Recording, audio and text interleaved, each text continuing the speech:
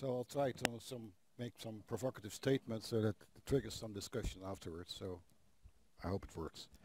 Uh, before I start uh, my talk, I want to um, to dedicate a big thank you to the Klaus Tschira Stiftung Foundation and the Heidelberg Institute of Theoretical Studies because they are the big important um, contributors to this building which you see here, which is the ESO supernova.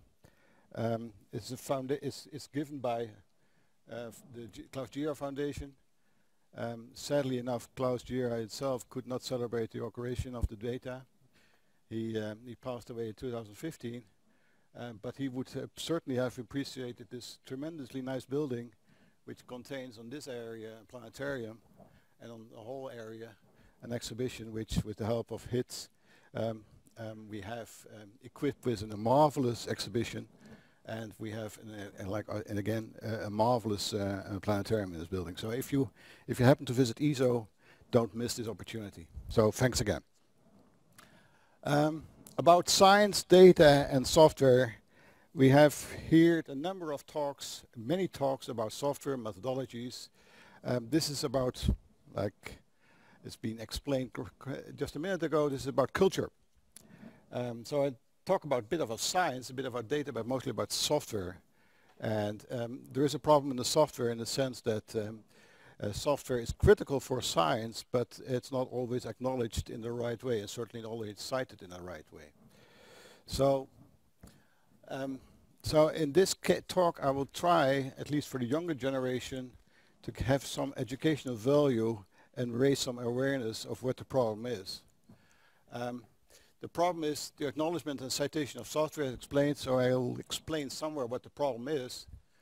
I, I hope to, um, to uh, convince you that we have some policies and principles in place which can, uh, can help us in relieving or at least resolving partially the problem and uh, explain what ASCL is, which is the Astrophysics Source Code Library, which is an, um, a project which is already something like 10 years going on actually more, almost 20 years going on, in which you can cite and, and register your software. So what's the problem? The problem is following.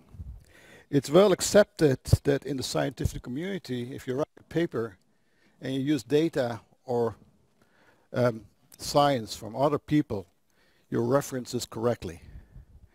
So if you use data, science, you write in the references, your table of references, what were the data coming from and where the science coming. This is all accepted. There are actually a number of people in Germany, actually ministers were, were fired not doing, for not doing this because they wrote a PhD thesis and did not reference or index or made references to previously science uh, results actually claimed it was their own.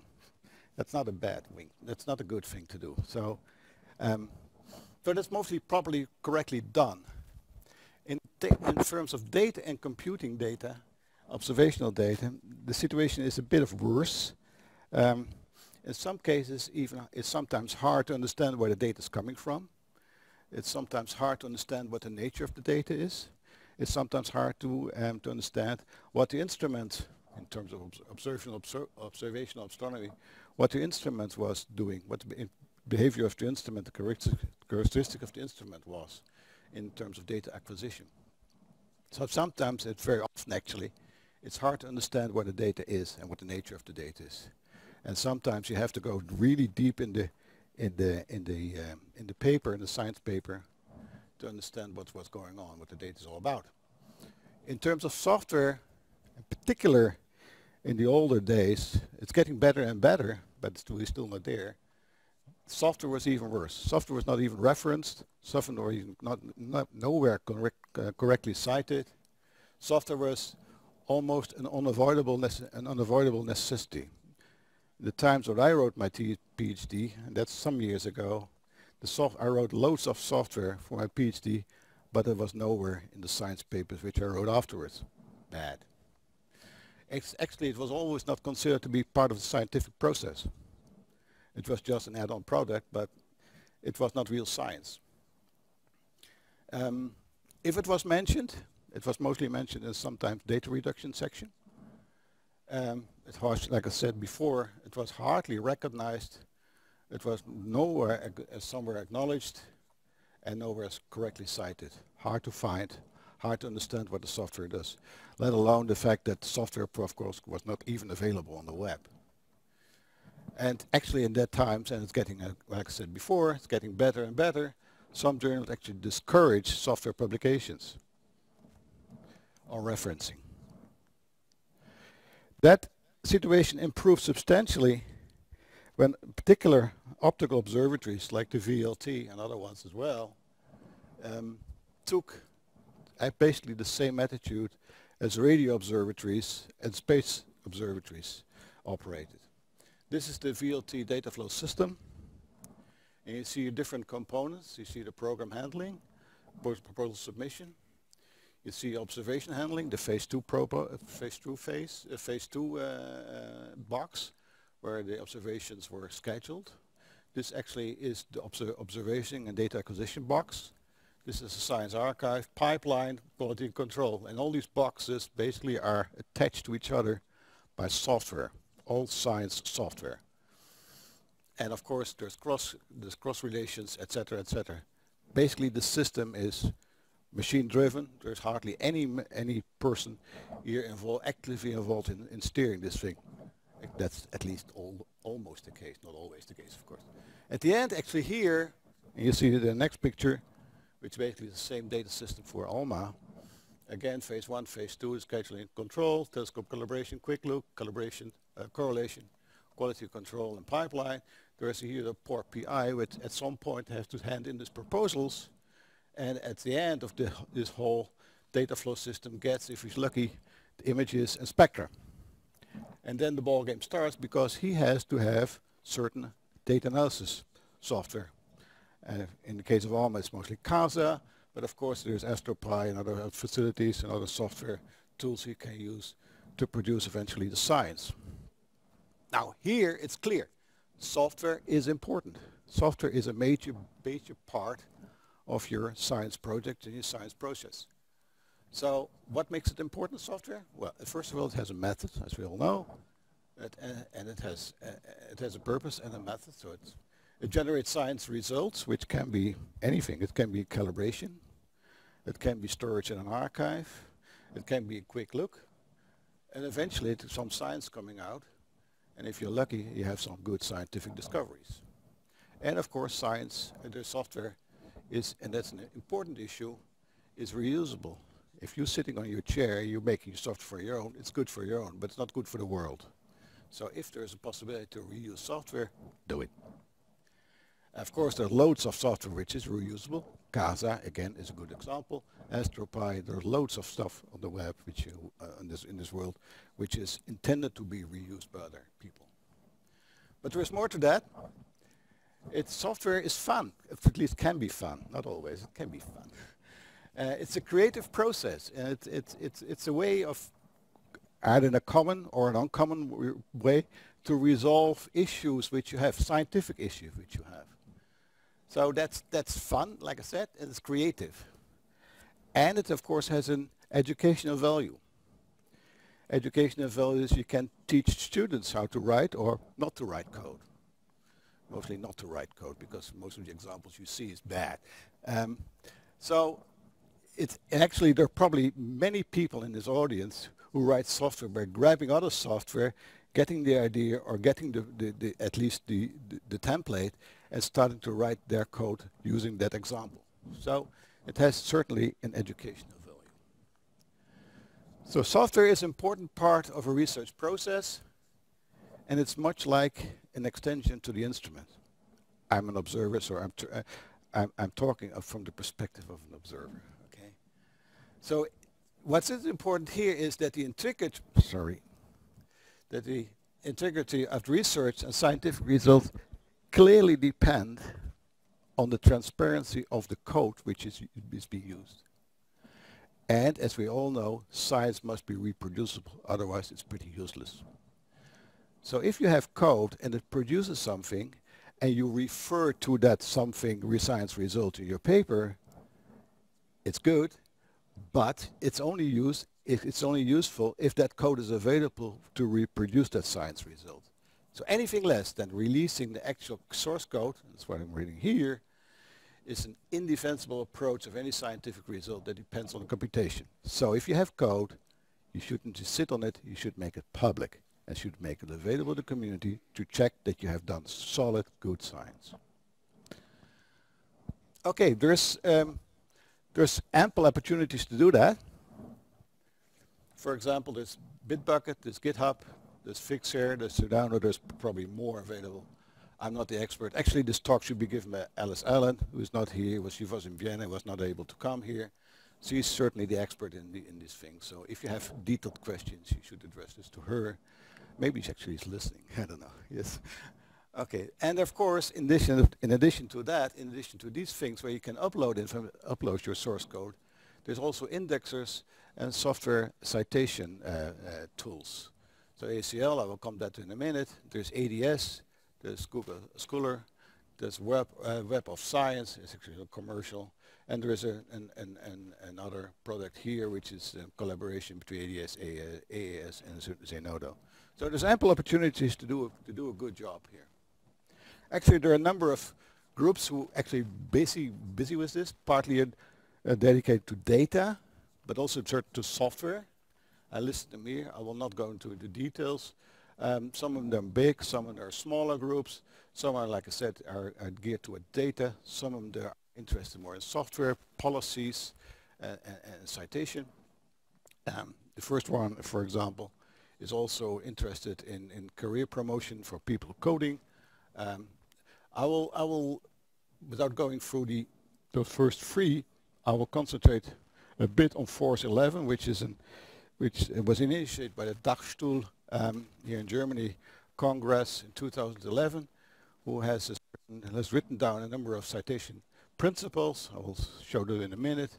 And there is also a Dagstuhl uh, publication on the manifesto How to Behave that was published in 2016. So here is the citation principle of Force 11. And if you read, I will not read through completely through this, it's shifted a bit. But um, there are a few which are, um, I, will, I will allude here. There's an importance principle, software, data is as important as the final scientific project, uh, product. Uh, credit and attribution to all contributors, so you you make sure that all the contributors to the to the science are well are well um, uh, acknowledged. Um, evidence, these are the buzzwords. Evidence, data should be cited. Well, you can go through this, um, and, and you see this is almost obvious. Um, the Dagstuhl Manifesto, uh, it lists three basic principles. First, it tells you that if I do something, I will make explicit, I will write something, I will explicit um, uh, uh, make sure that uh, that the site that that people how how know how to cite my software. So I make it clear that I want I write software and I want this software to be cited in that particular way. So it, it's clear instructions to the authors. The other way around, if I use um, if I use software from others, I will cite correctly. And this is for this is for the um, and so the last one is basically for the reviewers and for the publishers. So if you look through software for a science uh, paper and you see that software is there, you should actually insist that the software is correctly referenced. Um, so you have to encourage people doing this. So, um, so if citations are important to you, and I think it should, then there are a couple of things you should do. First, license your code. Second, make your software available and discoverable. There's no point in license your code and make it uncoverable. Make it not to be found by other people. Don't hide it. And if you're if you're a wise person, you put it in different places. Very well. Second, the third one is register and sorry, register and archive your code. And you can do this with ASCL. I'll send this in a minute.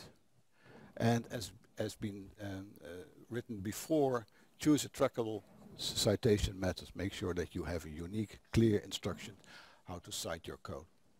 specify how you want your code be cited. And finally, publish information about your software. You can, of course, upload your software, you can license your software, but a good description of your software is very valuable for people who write who write science science um, uh, documents, science papers afterwards when using your software. So why should you do this? Why should you um, do all this work, extra work? Um, there are a number of things you can you can of course think of. Of course, you can have tracking software so you can see who's using your code and how, how often is code, how often it's being used. Of course, you can gain recognition. If you write good code, you publish this, and it's been referenced several times. You, uh, your uh, recognition is in, is increased of being a good software contributor to this to the society, to the community. Um, you can comply with funding requirements. Um, if a substantial amount of your time doing science is indeed writing code, you may have a funding problem. So if you can justify that you have additional need additional manpower for writing code for your project, then you may put us in your funding funding uh, uh, funding uh, proposal and get this this this uh, this approved. Of course, it also helps in appro getting approval for further funding and for peer reviews. And further, of course, if you publish code and the code is well available, then you can start collaboration, improving the science and improving the software. Of course, there are a number of people who think, well, it's all too much work, and you, you hear um, many times kind of excuses why not to do this thing. Um, I just listed a few, five. There's certainly be more. um, people see no no feedback, no no back pay benefit to sharing software. Well, my my counter argument, you can only know this when you're doing it. So, um, um, people say I'm not required to do so, so I'm too busy with other stuff, so uh, I leave it. If you don't do that, if you if you do that, if you behave that way, you're actually deteriorating the science you produce. Um, there's people who said, well, the code is not available uh, because it's messy. A bad example. Um, I hear just Ellen may have seen that email from Ellen from uh, Alice about uh, there was a there was a, a, a, big dispute about phase transitions in in in in in water, and eventually it turned out that this this whole thing was because some code was not made available, and the code was tricky and buggy. So um, there's phase of losing competition if your code is in competition with other code. Mm. Uh, we like competition in science, so you better you publish these things. I think you should not be afraid of. Um, and of course, there's sometimes university policies. If you need to citate cite uh, software, and I think you should, make sure you do it in the correct way. Make sure that you do it in the way the author, author would like to have it. If you want to know that, there's probably a README file somewhere, there's a citation file, there's ASCL. Um, or if you if you don't know, just ask the author. You can also go to ADS because much of the code is cited in ADS, and you go you can go there and see how the code is can be properly cited. If you're not, if you don't see that, of course you're free to make an entry yourself. It would be useful to to uh, to talk to the author of the code, but you can do this. And if you if you if really good, you add also a, a software section in your paper about the code you're using, and if it's somebody else's code, you probably, again, properly, ref properly reference this thing. So there are some improvements in, in the journals. If you look at journals, like I said before, in the old days, it was hard to get software published. Nowadays, it's getting better, although we're not there yet. Um, so there's, there's journals who have changed the policies, and thanks to pressure for individual people, from communities, and also for uh, actually also for funding agencies. In astronomy, most of the journals do allow citation, monthly notices, science. Actually, a number of journals of nature actually insist that not only citing, but also the, uh, is, is important, but also the software should be available, so you can reproduce the science result. Many other journals also allow science uh, software across discipline. But there's no standard for software citation yet. So that can improve, and it's certainly not a requirement, like I said before, there's no requirement yet that software must be available and downloadable. So there are a number of journals. I list them here. Maybe you're so familiar with few. They're non-astro-specific, and there's astro-specific. Um, so there's possibly, like I said before, there's there's probably more. I'm going to ASCL, which is, an, uh, I said before, um, started in 1999, as far as I know, and it's it's it's in, it it has been um, started to to make the science and the software in science more transparent, so people do I know understand what's what what the software is doing to your science. It's a registry for science software in astronomy, so you can go there, you can register your software, you can actually document your software, you can produce uh, pro uh, provide descriptions of the source code. It's not a site where you can upload. That's the other ones, which is showed in the graphs before. But it can help you in in in uh, in, in, service in, in providing a repository. Actually, ASCL is indexed by ADS, Web of Science, and others. So it gives you it gives you ample opportunity to make your code available and make your code aware by others. So what do we register? What does ASCL register? It's all reference, refereed papers or papers which are submitted to referees. In addition, as ASCL also accept PhD theses. However, and here we go, the code must be available and downloadable without barriers. So, proper documentation, downloadable, and a license and a registration. So the benefits of ASCL is the following. It's improved transparency in science results transparency in the source code, and therefore also transparency in the science results the code produces. This of course increases the reliability of the data and the software and the science. It provides, my God, it provides a way to cite software separately from papers. It's not only a citation from the paper where the software appears, but also it's a citation of the software description itself. It helps you also in designing DOE DOI for codes host and host in the DO in, in ASCL, and it adds it made eight software discoverable, so it helps you in making the software not only available but also easy to find by other people. So if you need a piece of code, you can go to ASCL, you can find where the, what the code does, and you can also find where it is. Actually, ADS shows now that 58 journals it's been indexed have citations in ASCL, so ADS does a good job and um, it makes things very easy to find. In addition, the Web of Science also indexed the resources where the code actually lies. Currently, we have between 10, 10, 2010 and 2018, you see here an overview of which, which codes has been added and as a registry. So it's almost around 200 per year. So we, code, we currently at something like 1500. Um, so still, still going strong and still yearly, I've, I believe, very successful. This is the way the ASCL shows what code is available on the market, on the web, uh, or downloadable. Like I said, ASCL only registered code which is downloadable. So here's a, here's an ASCL index. Here's the code name or the description. Here's where you can down, you can upload the code. Here's a reference which basically uh, um, papers are refer referring to this code. There's actually also a bib code.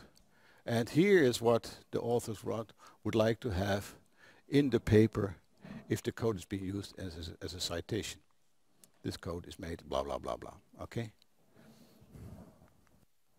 The number of citations per year from A code which has been registered in, A in ASCL and indexed by ADS. We're currently at, for 2015, uh, 2018 we're by 800 and you see we have a, a very nice steeply rise. We're still going strong.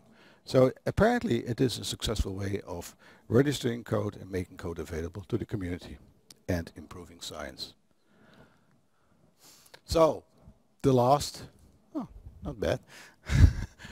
And the last slide is, is the mission to you, in particular the younger generation. I'm not quite sure if I can reach the older generation, but I hope to reach the younger generations here, that if you have code available and you want to make it available, and I think you should be able to make it available, if it if you want to have it if you want to make a contribution to science, that is, uh, register your code and release it. Archive your code somewhere. Well, that's all. I mean, you can read for yourself, of course. License your code. Specify how you want the code to be cited. And an example has been given just a minute ago in the ASCL page. And cite other people's code well. Do other people a good favor. If people have made effort to produce good code, I think they deserve a well and good citation. I hope I fulfilled my mission here. Thank you.